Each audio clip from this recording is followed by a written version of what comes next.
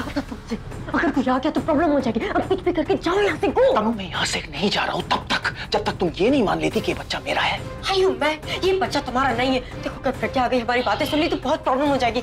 हम ये बात किसी और दिन कर लेंगे तो तुम जाओ। समय ये बात करने में तुम ले रही हो ना उसी समय में सिर्फ़ एक बार एक बार तुम्हें कहना है कि ये बच्चा मेरा है। ये बच्चा तुम्हारा नहीं है।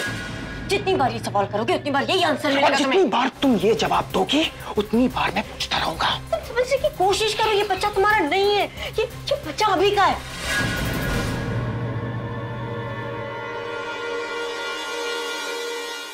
So you want play that way जानता था डीएनए टेस्ट करवा के रखा है।